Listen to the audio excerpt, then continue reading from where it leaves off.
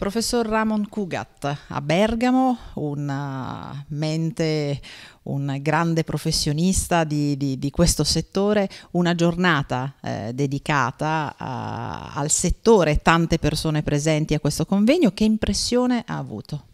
In primo lugar, felicidad a la Sociedad de Atalanta por organizar este evento tan importante porque esto es para el presente y para el futuro de la sociedad y todos los calciadores que la sociedad tiene. Enhorabuena para la sociedad, muy importante. Y se tocan temas muy de presente y de futuro. Y hay que estar al día en todo lo que representa el poder curar lo mejor posible a los calciatori.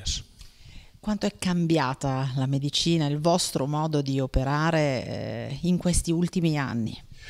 Bueno, yo empecé como ayudante el año 65.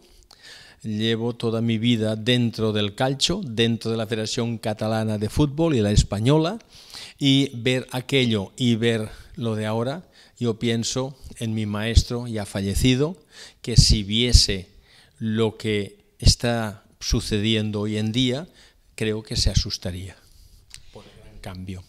Y lo que, perdón, y lo que todavía nos espera por venir, porque en pocos años esta medicina va a cambiar mucho y el bisturí se va a utilizar menos en favor de la medicina biológica.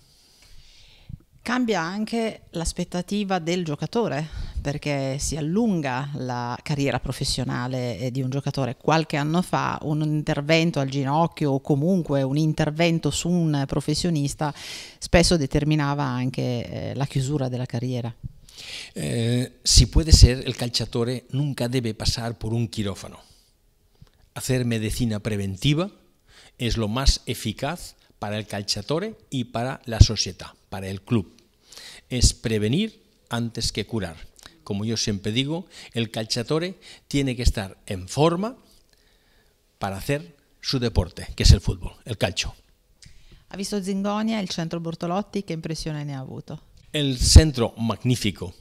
Un centro, como decimos en Cataluña, muy coqueto, muy bonito, uh, muy bien utilizado todos los espacios.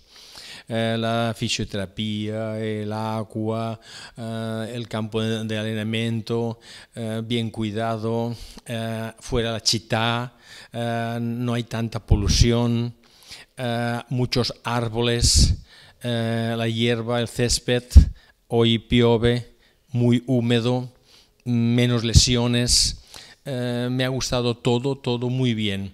Eh, en un espacio reducido hay de todo. Es un centro minimalista para un gran club.